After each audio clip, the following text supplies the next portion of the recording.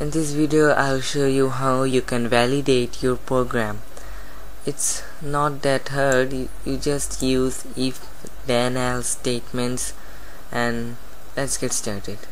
First of all I'm gonna add a small check button here.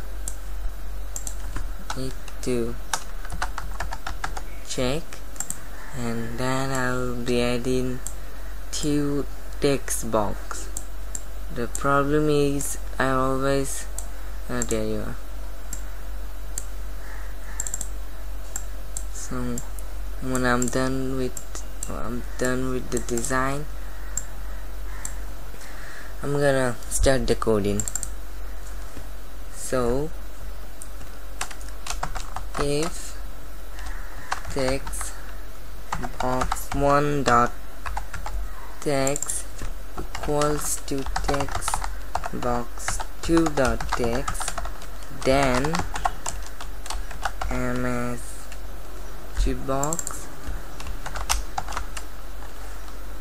They match. But if they don't match it's gonna be else. Ft box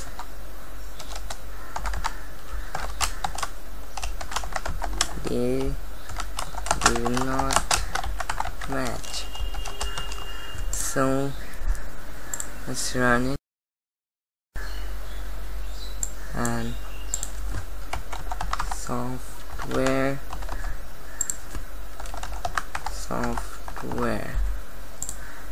They do not match.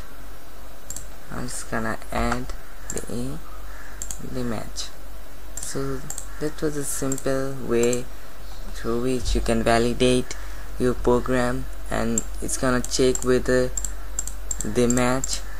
Uh, it's really important when you're asking the user to type in a password while making a new account or something. So that's all for today